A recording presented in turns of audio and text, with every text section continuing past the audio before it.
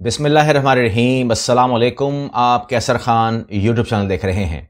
आज की वीडियो में हमें आपको इतला देनी है हसन नसरुल्ला के हवाले से, उनकी बेटी के हवाले से, रशिया के हवाले से और यूएस के जो उसने बहुत अजीब गरीब बयान दे दिया, उसके हवाले से मिडल ईस्ट में क्या सूरत हाल होने वाली है, रात जो गुजरी है, उसमें कौन सी क़्यामत ढाई गई है इसराइल की तरफ़ से? और उसका क्या अंजाम होगा? वो अंजाम कौन बता रहा है उनको? ये तमाम चीज़ें आपको इस वीडियो में मिलने वाली हैं। सबसे पहले, अगर हम यरूशलम पोस्ट देखें तो वो कहते हैं कि I D F confirm Hezbollah's leader Hassan Nasrallah killed in Beirut attack on Friday हुआ क्या? हुआ ये कि फ्राइडे को कहते हैं कि इन्होंने एक वहशियाना बमबारी की।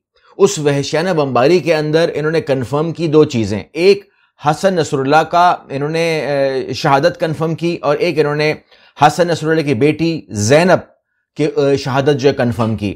अब जो बेटी जैनब की शहादत है उसको तो आ, मान रहा है। इस टाइम जो मीडिया है लेबनान का वो भी कहीं ना कहीं कंफर्म कर रहा है कि हमारा रबता नहीं है और मुमकिन तौर पर जो जैनब बेटी हैं हसन नसरुल्ला की वो शायद शहीद हो चुकी हैं। गालिब गुमान यही है क्योंकि लग यही रहा है। लेकिन जो जो अटैक हुआ है हसन नसरुल्ला के ऊपर उसके अंदर अब तक ईरानी मीडिया जो है वो तो टोटली कह रहा है कि जी हम, हम हमें मालूम है कि उनकी शहादत नहीं हुई है जबकि बैरूत का मीडिया या जो इंटरनेशनल मीडिया है वो कहते हैं अगर शहादत नहीं हुई है तो फिर आप उनको मंजर आम पे लाकर एक बयान दिलवा दीजिए तो ही हम मानेंगे। अदरवाइज़ इसराइली मीडिया कह रहा है कि हमें इसमें कोई शक व शुबा नहीं है कि उनकी शहादत हो गई है और वो बच नहीं सकते।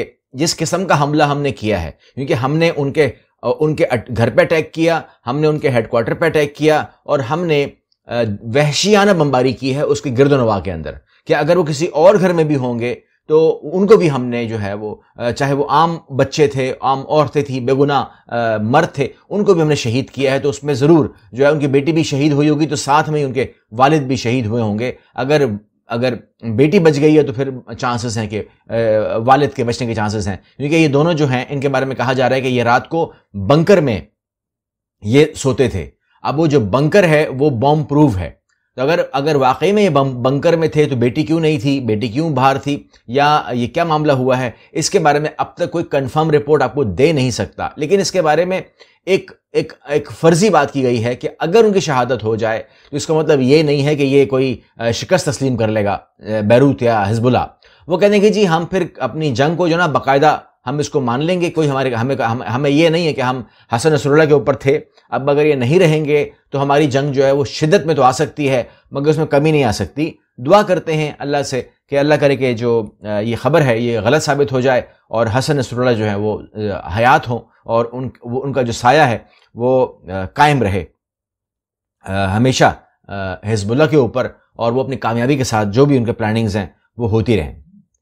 इसके बाद आगे बढ़ते हैं तो यहाँ पर आप ये देखिए कि जिस तरीके से द टाइम्स ऑफ़ इसराइल खबर लगा रहा है आपके सामने, एक घंटा पहले मेरे पास आई है आईडीएफ यानी कि उनकी जो फौज है IDF says terror chief Hassan Nasrallah other Hezbollah leaders killed in Beirut strike तो कहते हैं कि हमने एक बड़ी तादाद के अंदर जो है हिजबुल्ला के मेन स्ट्रीम को उड़ा दिया है और उसमें हिजबुल्ला के जो चीफ थे, वो भी शामिल थे। ये खबरें जो है ना, ये टाइम्स ऑफ़ इसराइल और इसराइली मीडिया जो है, वो बेतहाशा उसको फैला रहा है। इस बात को कंफर्म कर रहा है सीनन वो कहते हैं कि जी Israeli carries out deadly strike out on Lebanon capital अब यहाँ पे जो लेबनान कैपिटल हुआ है, यहाँ पे डेडली स्ट्राइक हुआ है। और उसके अंदर मैं आपको एक चीज़ कंफर्म कर दूँ कि जो मामला हुए हैं, उसके अंदर जो यूएसए है, वो वो कहता है कि जी, मैं इस हमले में नहीं था।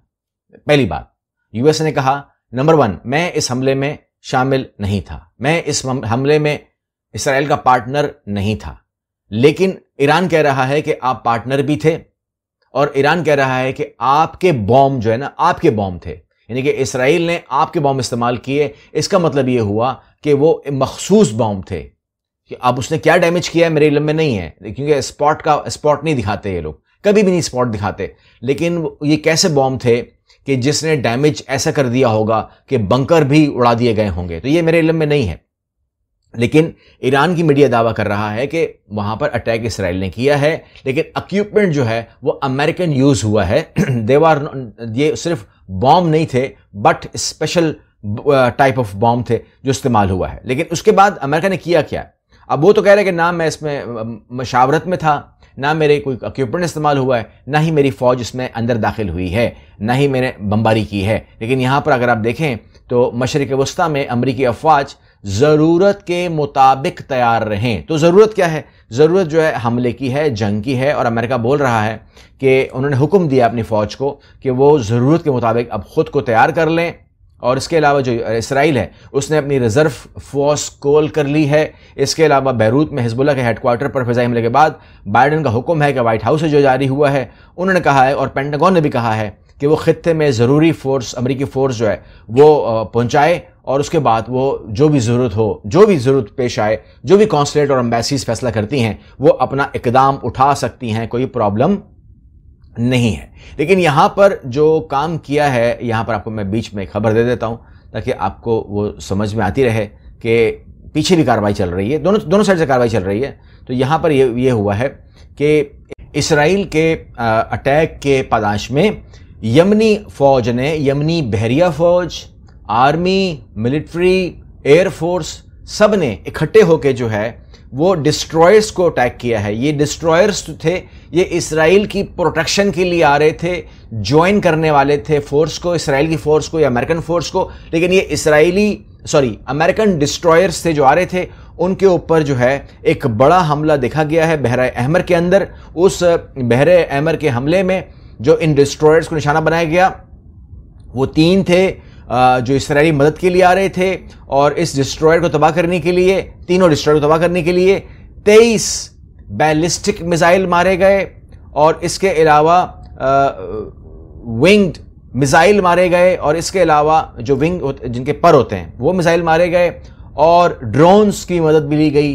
ताकि वो जो डिस्ट्रॉयड्स हैं, वो मुकम्मल तौर तबाह हो जाएँ और जो वीडियोस इस टाइम आप मीडिया में देख चुके होंगे, उसके मुताबिक वो तीनों डिस्ट्रॉयर्स जो हैं, वो तकरीबन किसी काम के रहे नहीं हैं। क्योंकि अब अगर वो इस हद तक डैमेज हो चुके हैं, जिस हद तक वीडियोज़ में नज़र आ रहा है, ये डिस्ट्रॉयर्स खुद डिस्ट्रॉय हो चुके हैं, ये इन्होंने क्या डिस्ट्रॉय करना है आगे? तो ये चीज़ें जो है ना, वो इस तरीके से भी चल रही हैं, जो मैं आपको इन्फॉर्म कर रहा हूँ। यहाँ पर ईरान कह रहा है कि इसराइल ने जो गेम के रूल्स हैं, वो चेंज कर दिए हैं, इसकी सज़ा दी जाएगी। अब गेम के रूल्स हैं क्या? गेम के रूल्स ये होते हैं जंग के अंदर कि आप आर्मी टू आर्मी फाइट करते हैं और ये फाइट जो है, इसके अंदर कोई आम सिविलियंस को टारगेट नहीं किया जाता। लेकिन अगर आप इसराइल का अटैक देखें तो आपको ये नज़र आएगा कि वो शुरुआत ही शहर पे हमले करने से करता है। यानी कि जो रात गुजरी है, फ्राइडे के नाइट जो गुजरी है, उसके अंदर उसका पहला ही अटैक हेडक्वार्टर पे हुआ है गिरद नवाब पे हुआ है, बैरूत बैरूत के ऊपर हुआ है और मुकम्मल तौर पर उसको जहाँ पर भी उसने की है, वह शियाना बम्बारी की है, शहर के ऊपर की है, आम आवाम को मारा है बिकॉज़ उसने ये बम्बारी पहले शहरों पर की गज़ा के अंदर। तो उसे किसी ने कुछ कहा ही नहीं, यानी कि कोई कोई उठ के आया ही नहीं। तो now they they are comfortable उनको ये पता लग गया है कि अमेरिका हमारी पुष्ट पे खड़ा है अकवा मुतहद को हमने डिसमेंटल कर दिया है, दुनिया के अंदर बेगैरती छाई हुई है तो अगर हम कर भी देते हैं अटैक अवाम के ऊपर आवाम मर भी जाती है, बैरूत की आवाम अगर मर भी जाती है, अगर ख़त्म भी हो जाता है पूरा का पूरा मुल्क हमारे हमलों से तो किसी ने हमें कहना ही क्या है। और अगर कोई कह भी देगा तो हमने सुनना ही क्या है। तो इसके लिए वो हमें कहते हैं stop stop the war stop this game ये बदल, यानी कि कुछ भी आप कह लीजिए, इसराइल जो है, वो मारते जा रहा है और रोते जा रहा है। ठीक है ना? क्योंकि हमें सेल्फ डिफेंस का हक हासिल है। इस सेल्फ डिफेंस के हक में जो उसने किया है, वो तो कुछ नई गेम शुरू कर दी इसने। यहाँ पर जो रशिया है, उसने कहा है कुछ लोग चाहते हैं कि ऐसा होकर रहे, ठीक है? और रूसी वजी खारजा ने मशरक वस्ती में बड़ी जंग का खदशा ज़ाहिर कर दिया। कहते हैं कि ये प्लैंड है। यानी कि इसराइल कह रहा रशिया कह रहा है कि ये प्लैंड है। आप ये मत सोचिए कि रशिया जो है, जो इसराइल है, वो अमन कायम करने के लिए बैरूत को अटैक कर रहा है, या गज़ा को अटैक कर रहा है, या यरूशलम, या जो वेस्ट बैंक है, उसको अटैक कर रहा है, या अमेरिका बोल रहा है, अपनी फोर्सेस तैयार हो जाओ। कहते हैं, ये कुछ लोगों का प्लान है और ये होकर रहेगा। कहते हैं, ये होकर रहेगा। यानी कि एक बड़ी जंग जो है, वो छिड़ जाएगी। मशरक वस्ती को आग में लपेटना है, ये प्रोग्राम कहते हैं प्रोग्राम्ड है ये। और उसके अंदर जब तक कैलकुलेटेड अटैक्स होंगे, जब तक ये मालिक समझ नहीं जाएँगे और जब समझेंगे, ये वीक हो चुके होंगे। क्योंकि उस वक्त तक वो जितने भी रेजिस्टेंस फोर्सेस हैं, उनको अटैक करके उन्हें ख़त्म किया जाएगा। अब रेजिस्टेंस फोर्सेस के अंदर क्या करेंगे ये लोग? ये हमास को ख़त्म करेंगे, ये हिजबुल्ला को ख़त्म करेंगे मिल कर रहे हैं इसमें ऑपरेशन जारी है। ये हौसीस को अटैक करेंगे, ये वो तमाम काम करेंगे जो, जिससे इनके जो फोर्सेस हैं, जिन, जिनके अंदर रेजिस्टेंस है, वो है। अगर अगर आपके हिसाब से और किसी के भी हिसाब से, अगर इसमें ईरान आपके हिसाब से नाटक कर रहा है तो उसको छोड़ देंगे। लेकिन अगर उसकी तरफ़ से भी वो ख़तरा है तो उसको भी तबाह कर देंगे। यानी कि उन तमाम फोर्सेस को तबाह करेंगे, जहाँ से रेजिस्टेंस हो सकती है। और बाकी जो साइड है, वो सरेंडर है। उन्होंने अपने घुटने ज़मीन पर रखने हाथ ऊपर करने हैं, और उन्होंने कहना है कि जी, हमें ना मारें। हमें आप बेशक, अगर आपने हमें जला वतन भी करना है तो आप हमें जला वतन भी अमेरिका ही कीजिएगा।